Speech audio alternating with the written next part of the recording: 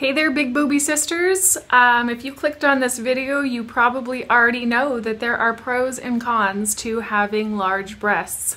And possibly you're considering a breast reduction or you just want to learn how to deal with your big boobs better. Um, I have five suggestions on how to deal with your big boobs without resorting to surgery. Stick around.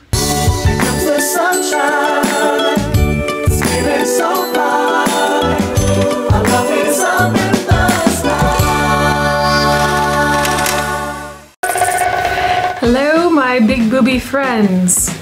So, in my last video, I talked about my breast reduction, which I had five years ago, and some of the reasons I wouldn't necessarily recommend the procedure. But that's for another video.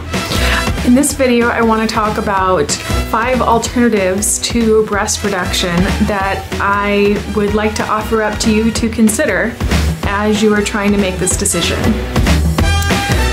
Sisters, I have been on both sides of the fence. I had really big boobs when I was younger, and in my late 30s, I had a breast reduction, and my boobs were still pretty big and then they got bigger again. So now they're actually bigger than they were before my breast reduction. So for me, that means that I have gotten to learn how to live with big boobs and how to love them and or at least I'm working on the love them part. So I want to share a couple of tips with you about what I've learned yeah, are some good ways to accept, live with, and deal with your large breasts. Number one, learning what clothes flatter your body type. So for me, one of the reasons that I wanted to have a breast reduction is that I found it really difficult to wear to find clothing that fits. Button-up shirts were out of the question. I know that's almost cliche if you're a large-breasted woman. Uh, getting a shirt that fits your shoulders and your waist as well as your bust is like super difficult. Those buttons are always popping open.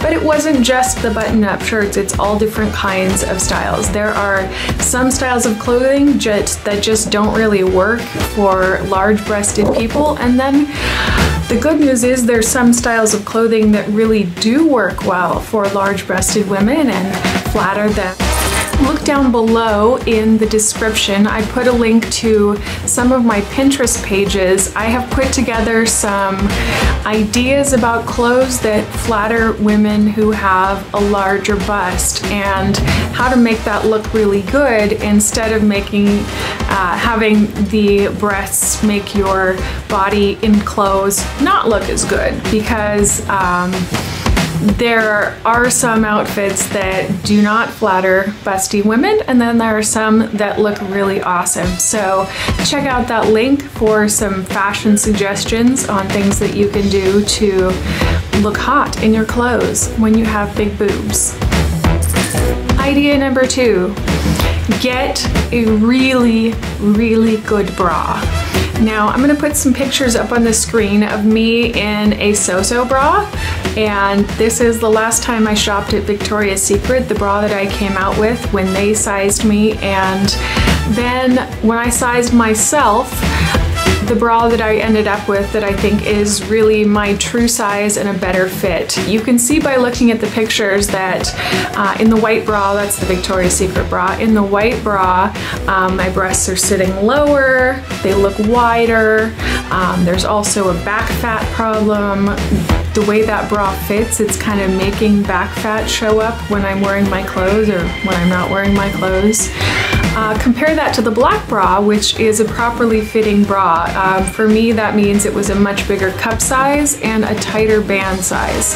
So the underwire of the bra actually went way farther back than the Victoria's Secret bra, which is because it was a bigger cup size and that actually was able to contain my breasts more. In the white bra, they were just getting really squished in. So I have a whole other video about bra fitting, but Getting a better bra and getting a really good quality bra is going to make you look thinner and much more flattering to the breasts. It's gonna lift those large ladies up and it's lift and separate.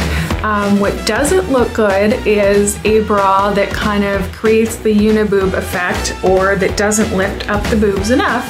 So um, a bra that doesn't fit you properly might let the boobs hang lower and you don't even necessarily realize it's happening.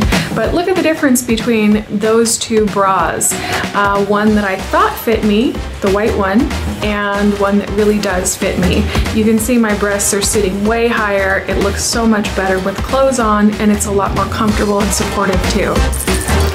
Number three, therapy. Now this does probably sound like an out of place suggestion for this video, but for me, one big part of my journey, I had my breast reduction five years ago, and I found out after the breast reduction that I still wasn't comfortable with my body, I still wasn't happy with my body, and the breast reduction certainly did not fix my body image issues. Um, in that journey, I happened to have quite a lot of therapy. I spent several years going to see a therapist and digging into some of what my actual internal struggles really are. And I've come to the conclusion out on the other side of that journey that for me, um, the plastic surgery decisions that I made five years ago were kind of coming from a deeper place of internal struggle. It wasn't just because, oh, my boobs are big, so my back hurts. It wasn't really about that. Like the underlying reasons were different. Um, you know, in hindsight, now that I've already had the surgery, I can kind of look back on that and go, I didn't really need that. Maybe that wasn't the best decision. So I would suggest considering, you know, talking to a counselor about your thoughts about your body and maybe discovering some of the deeper places that your body concerns are coming. So, number four, this is one that's a little bit more lighthearted, and that is to list the pros of having large breasts. There are some really nice things about big boobs. Um, if you're in a place of thinking about a breast reduction, you're probably really focused on the negatives of having big boobs, um, of which is an easy list to make. Um, but there are also some positives, and um, if you can focus on the positives, it probably makes you like yourself better in the condition that you're in. And the fifth thing that I have personally done to appreciate my breasts more instead of dislike them is I have started paying attention to the body positive movement. And again, I'm going to refer you to Pinterest down below. Um, I have some links to some pictures of some curvier women um, and how they handle their big boobs, how they rock their big boobs and look gorgeous. Uh, so I really would like to point out those to you. It's really helped me to kind of reframe some of the ideas of what I have, that what's beautiful, what looks good. Um, thinking about uh, curvier body types and like I have and maybe like you have and trying to spin that into a positive because it really is a positive. So uh, for me, seeing images of happy, healthy, beautiful women who are curvy, it really helps me to kind of keep in my mind a positive attitude about having a curvy body and it makes me like my my curves a little bit better. So check out the Pinterest and uh, maybe you will find it inspiring if you follow that. I keep adding all the time um, new body positive images and beautiful ladies with curves so maybe you'll enjoy that too.